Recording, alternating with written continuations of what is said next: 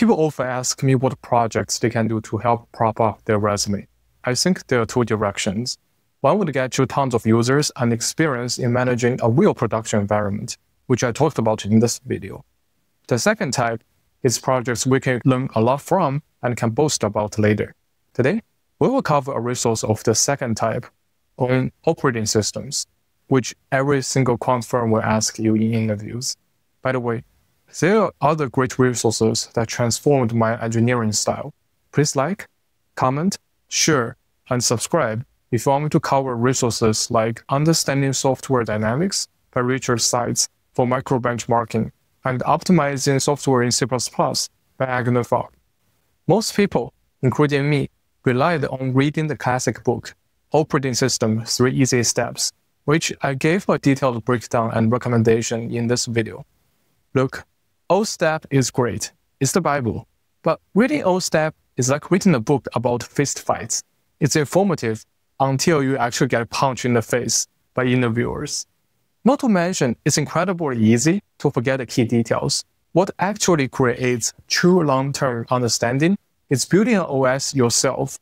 That's what the lecturer for the operating system class at Cornell thought. And so they open source the OS teachings and projects at Cornell on GitHub for people like us. They're also super responsive. So should we encounter issues or have questions, they will always answer on GitHub. The project is broken down into digestible chunks with scaffolding code already written for you. You aren't writing the boring stuff. You get to write the key components and wire them together under 2,000 lines of code in total. You could knock this out in a few weekends. Then your resume will have the most kick-ass project ever. You can say that I built my own OS. Let's look at the roadmap. It's nine steps. P0 is hello world.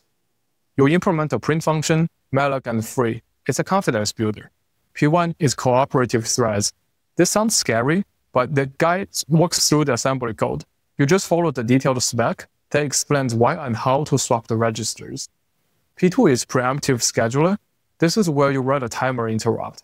You just write the logic that says time's up, next thread please. For quants, that's the money round. You understand latency because you build a sense that manages it. The third project, system call protection, and the fourth project, virtual memory, are both super common interview topics. P5 and P6 are device drivers and file systems, fascinating subjects. And P7 is networking, where you handle raw TCP packets. P8, multi-core and logs, would allow you to make your OS safe and modern. The outcome? When an interviewer asks, do you know the Linux operating system well? You can confidently say that you have implemented one yourself. Don't be intimidated. The path is paved for you. Grab the link in the description. Go become a systems engineer. Add unique features to the project at the end. Please like, comment, share, and subscribe if you're excited about it like I am. And please feel free to share with me your implementations too. Cheers.